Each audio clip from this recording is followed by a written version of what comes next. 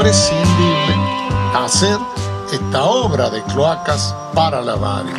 Yo debo felicitar al intendente, a Daniel, no se quedó esperando que la provincia hiciera la obra.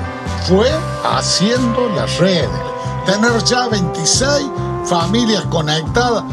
Vamos para conectar el resto de la varilla los próximos cuatro años. Eso es trabajar en equipo. Eso es tener una visión de futura y esto es progreso. Hemos avanzado en el debido tránsito pesado, en los desagües, en las cloacas, en que haya energía para que la varilla siga progresando en los próximos cuatro años. Y vamos a seguir haciendo junto al intendente, junto a Daniel, si así lo deciden los habitantes de la varilla, más obras para que no pare